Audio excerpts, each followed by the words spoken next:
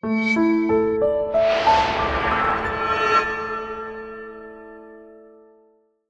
hello, it is Commander Lo coming at you again with another video.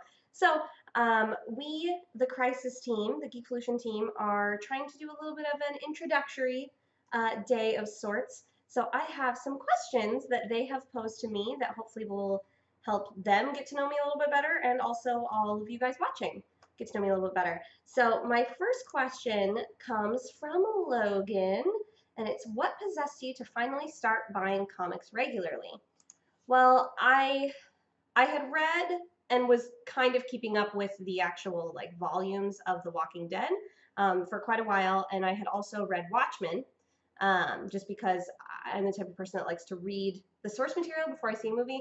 When that movie came out, I wanted to read it.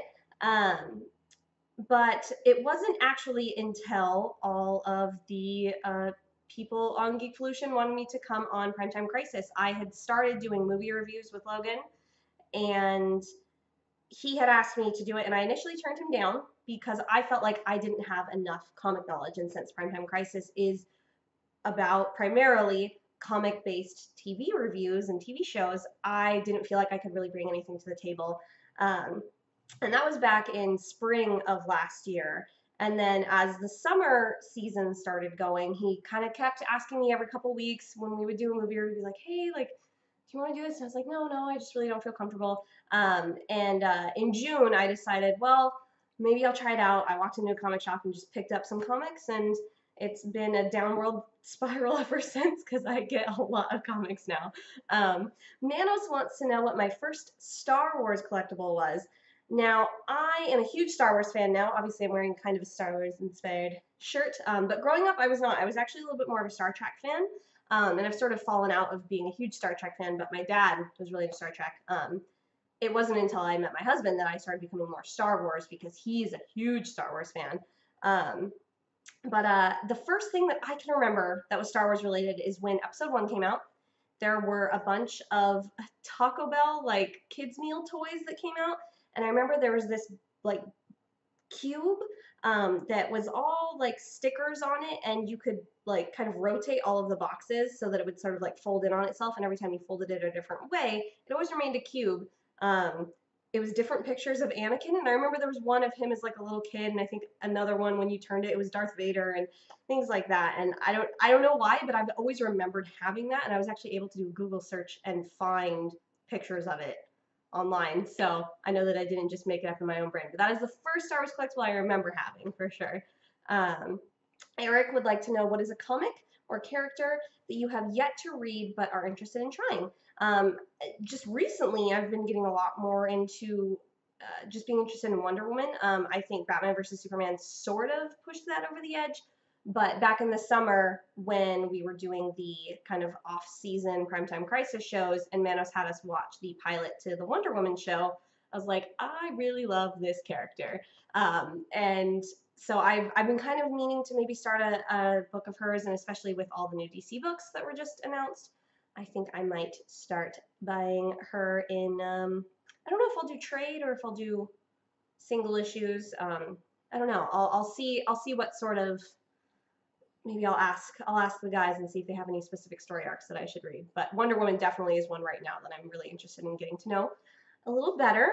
Rasco would like to know what fictional character would I want to be best friends with? Um, I am a huge Lord of the Rings fan, and my all-time favorite fictional character is Samwise Gamgee, and I think I like him for all the same reasons that I think I would love to be best friends with him. He's just super loyal and hardworking, and he doesn't let you be. I don't know. He calls you on your BS. I guess. Um, he he's he's a fierce friend to Frodo, and I think he's just kind of everything that you would want in a loyal best friend. Um, granted, he does work for Frodo, so I guess that's a little bit different, but whatever. I would want Samwise Gamgee to be my best friend, and he could make roast chicken with his salt that he takes with him. I love Samwise Gamgee boil me some mashed potatoes. It'll be great. All right, Dan would like to know, what is your favorite film made during the classical Hollywood era, Okay, 1917 to about 1960? For me, 100% this is one of my favorite movies of all time. Uh, it's a Wonderful Life. I watch that movie every day after Thanksgiving. Um, up until I moved to California, I would actually watch it with my dad specifically. Um, my whole family is part of the tradition, but like it's my dad who loves that movie, and it's I've seen it every Christmas season multiple times. I definitely crack it out during like the middle of the summer sometimes and randomly. I I love it. I man, I can't even really describe why I love it so much because it's always been a part of my life. Um, I don't remember the first time that I saw it. I can probably quote the entire thing. I just, oh man, It's Wonderful Life is such a special movie to me. That's definitely the one I would pick for that. Okay, last question is from Steve. It says, What's your favorite season of Supernatural? So I think if you've been on watching the channel a while, you probably know that I'm a big Supernatural fan, but if you don't, I'm a huge fan of Supernatural. I've got a little shrine back here. Um, now, this is a tough one for me because I like different seasons for different reasons, and early Supernatural is very. I mean, I don't know, very. It's a lot more serious than some of the later seasons. They start to get a little bit more silly. And obviously, there are silly episodes in the early seasons and serious episodes in the later seasons, but the overall feel is kind of, as time goes on, it tends to get a little bit sillier. Um, it, so I kind of think of Supernatural as two very different shows. You've got seasons one through five, and then season six through now, which we're in season 11, going to season 12. Oh my gosh, that's crazy. Um, but, uh, it, and it's hard for me to pick between these two, so I'm going to pick two. I know that's kind of a cop out, but I can't because I can't compare these two seasons. So for the early stuff, it is season four. Um, Ruby is one of my favorite characters, and I really enjoyed the dynamic of having a character that is kind of morally ambiguous, um, being friends with the boys, and I really enjoyed everything that she brought to the character. And my all-time favorite supernatural character is Castiel, and he of course is introduced in season four, and that's sort of back before we knew him very well.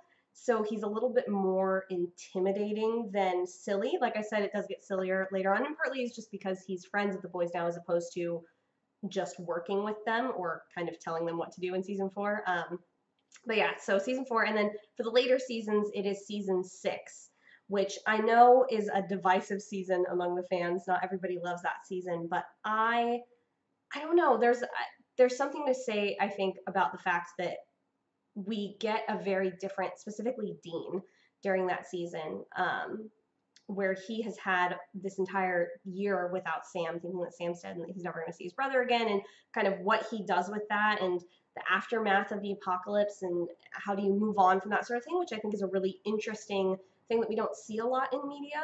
Um, so yeah, I've always been really interested in that. And then Cass's story is pretty interesting in that one as well because you get him being kind of shady, and by the end of the season, we realize that he's actually been dealing with some not so good stuff. So it's cool seeing a character that was so high and mighty and righteous kind of fall while still trying to think that he's doing good. I don't know. So between those two, I can't really pick. Um, all right, those are all of my questions from the crisis team. I hope you have enjoyed getting to know me better, and I hope uh, you enjoy getting to know everyone else better. And uh, I can't wait to see you guys soon. All right.